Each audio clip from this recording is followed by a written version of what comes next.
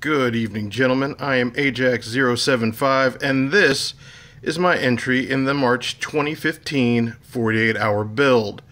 Uh, you'll have to excuse me for keeping this video brief as I'm late to the party and already under the gun. So, as you can see, this kit hasn't even been cracked open. And um, I need to remedy that post haste. So, I'm going to cut this short and I am going to get to work.